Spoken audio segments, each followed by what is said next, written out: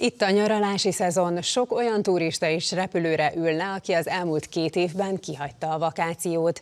De nem mindenki jut el álmai nyaralására, mert Nyugat-Európa repterein állandósult a káosz. Az elmúlt két évben túl sok embert küldtek el, most pedig nincs elég dolgozó.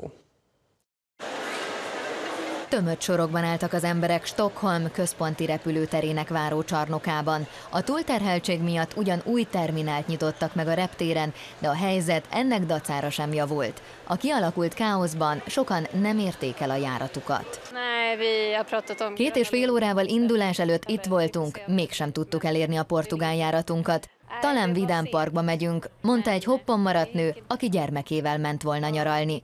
A kisfiú azonban láthatóan nem volt elégedett az alternatívával. A koronavírus járvány enyhülésével világszerte mérséklődnek az országok beutazási korlátozásai. Az Egyesült Államokban vasárnap másfél év után törölték el a beutazók számára kötelező negatív COVID-teszt meglétét. Az elmúlt hetekben hosszú idő után Japán is elkezdte beengedni a külföldi turistákat. A járvány alatti elzárkózás politikája súlyos veszteséget okozott a Szigetország gazdaságának. Külföldi turisták jelenleg csak előre lefoglalt, vezetett túrautak keretében tartózkodhatnak az országban. Európában a nyári szezon kezdetével az emberek valósággal előzönlötték a reptereket, ami sok helyen fennakadásokat okozott a légi közlekedésben. A több éves leállás miatt a légitársaságoknál és repterek üzemeltetőinél jelentős leépítések voltak, így sok helyen még nem állnak készen arra, hogy kiszolgálják a hirtelen megugró forgalmat. A héten a hollandiai Schiphol és az angliai Gatwick reptereken is járatszám csökkenést jelentettek be. A törlések több tízezer utazót érintenek. Azt gondolom, hogy egy-másfél évre van szükség ahhoz, hogy az ágazat visszanyerje a járvány előtti kapacitását. Képzett munkaerő hiányában a szolgáltatók nem tudnak megfelelni a minőségi és biztonsági elvárásoknak. Az utánpótlás betanításához azonban idő kell, mondta az angliai Heathrow reptér vezérigazgatója.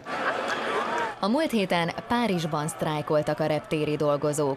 Fizetésemelést követeltek, mivel a járvány kitörése óta váltatlanul maradtak a bérek. Az infláció azonban jelentősen megemelte a megélhetési költségeket. Ma azért tüntetünk, mert túl drága az életünk. Nehéz kenyeret tenni az asztalra, lakhatást találni és munkába járni ilyen bérek mellett, mondta ez a tüntető. Január óta világszerte átlagosan 47%-kal nőtt a repjegyek ára. A legnagyobb emelkedés az Egyesült Államokban történt, ahol a 2019-es viszonyokhoz képest 30%-kal drágult a légi közlekedés.